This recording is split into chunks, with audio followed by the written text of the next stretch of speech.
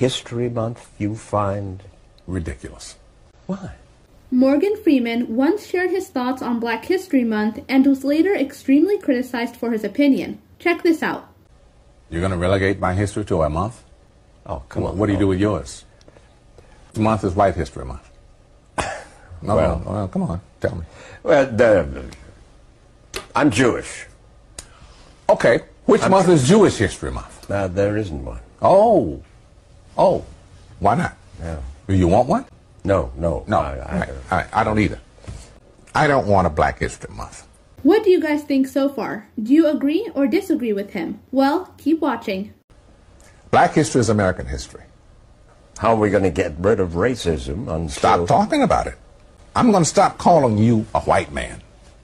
And I'm going to ask you to stop calling me a black man. Let me know what you think in the comments and don't forget to subscribe for more daily content.